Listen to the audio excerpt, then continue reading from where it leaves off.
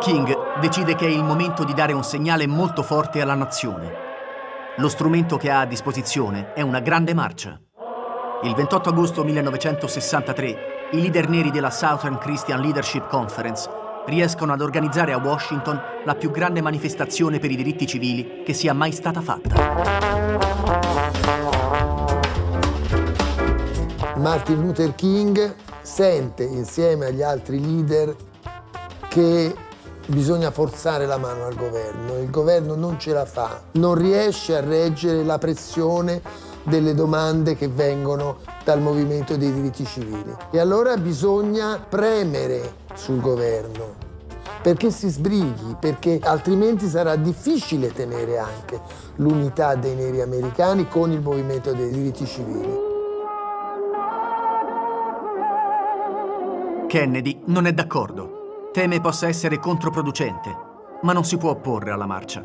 Lo stesso giorno riceve King e gli altri leader neri alla Casa Bianca.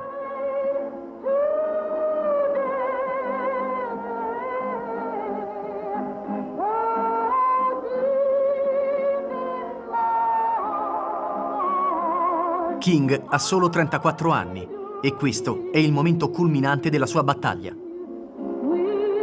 La Grande Marcia è un successo senza precedenti. Mancano solo i movimenti più radicali. Malcolm X la definisce come la grande farsa su Washington. Il discorso di Martin Luther King che viene pronunciato in questa occasione è un discorso straordinario, è a un posto di primo piano nella retorica del Novecento.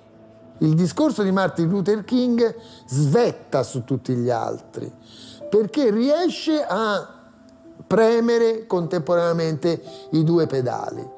E lui riesce ad alternare, appunto, grazie a un'oratoria di tipo ritmico, frammenti di identità nera e frammenti di raziocinante argomentazione rivolta ai bianchi.